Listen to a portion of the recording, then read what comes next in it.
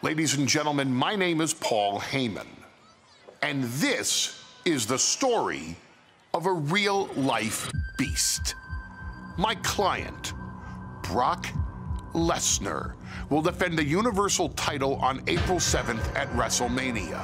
Why is this WrestleMania different from all other WrestleManias? Because at this WrestleMania, your hero has no hope. And that's not a knock on the challenger.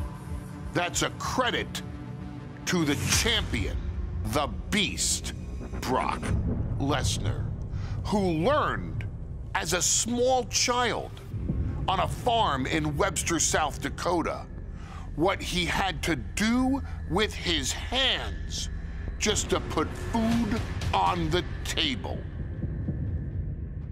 The harsh conditions on that farm honed Brock Lesnar's killer instincts, and he used those killer instincts to become the NCAA Division I heavyweight champion, the best collegiate wrestler in the entire country.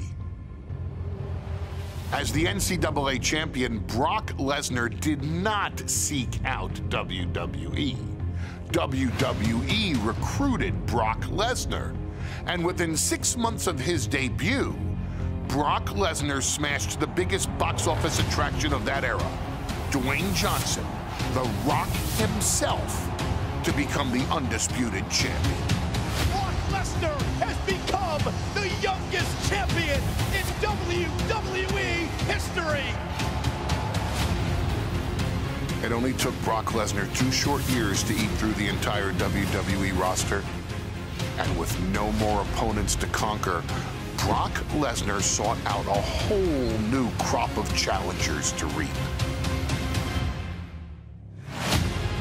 Lusting to satiate his appetite for true competition, Brock Lesnar stepped into the cage with the greatest title holder in the history of mixed martial arts, Randy Couture and emerged the undisputed UFC heavyweight champion of the world. It happened again. Brock Lesnar slaughtered all the competition that was put in front of him. Brock Lesnar grew bored with the fact no one could give him the challenge he needed. And then the beast noticed the fields of WWE had regrown, replete with a streak ripe for the taking.